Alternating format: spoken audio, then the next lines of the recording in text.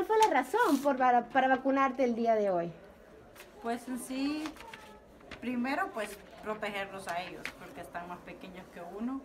Y pues eh, averiguamos y todo y decían que no era malo colocarme la vacuna y por eso decidí.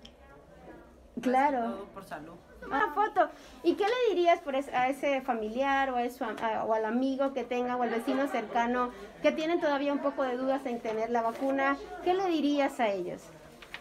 Pues ah, que se vacunen, porque la verdad que ahorita que todavía podemos obtenerla de cualquier manera y hay centros de vacunación en cualquier parte, eh, es mejor que se vacunen, tanto para la salud de uno como para los niños, los ancianos y todo lo demás.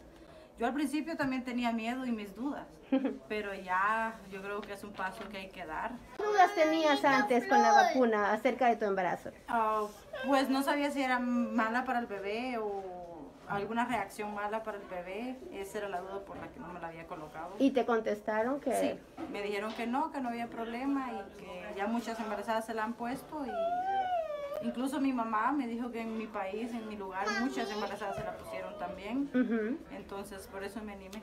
Ok. Muchísimas gracias, muchísimas gracias de verdad el día de hoy por venir, por vacunarte y por mantener pues a tu familia y a toda nuestra comunidad saludable. Muchas gracias. Muchas gracias.